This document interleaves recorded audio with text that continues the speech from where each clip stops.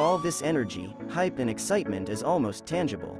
A'TIN are now celebrating the debut of Gento, on the Billboard Worldwide Digital Song Sales Chart at spot number 8. This is as huge as you can imagine. Entering this chart, means that the song is one of the most popular downloaded songs from last week, ranked by sales data as gathered by Luminate. In fact, SB19 is now the third Filipino artist to have entered the chart, after Sarah Geronimo with her Tala debuting at the 12th spot last 2020, and Shanti Dope for Amatz debuting at spot number 10 last 2021. With that, SB19 also becomes the highest-ranking Filipino artist in the said chart, debuting at number 8, and the only P-pop group to have done so so far.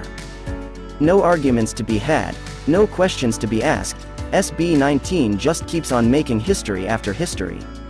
We're sure more achievements are coming, so stay connected, don't miss out on the news, like and subscribe.